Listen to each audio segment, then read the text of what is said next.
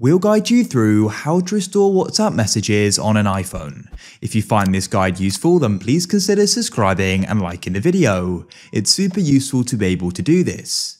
If you already have WhatsApp on your phone, that's great, but if you don't, don't worry, you can still follow the guide. If you do though, it's useful because we can go and open it up.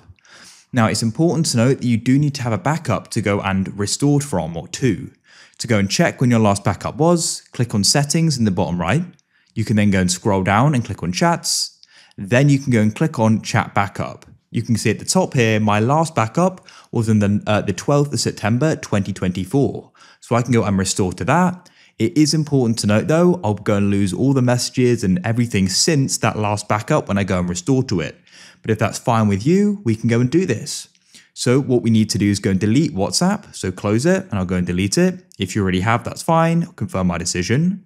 What we then need to do is go and get it in the App Store, just search for it, and you can download it again. Then what we need to do is start the setup process again, so just start following the instructions. And during it, you should get this pop-up saying restore from iCloud. And as you can see, I can go and restore to this backup. So I'll click on restore in the top right and it's then going to go and start preparing it. Just go and wait. As you can see, it's now restored. I can click on next in the top right and I can just go and edit my profile. And here we are, we've now restored the chats. If you found this guide useful, then please leave a like.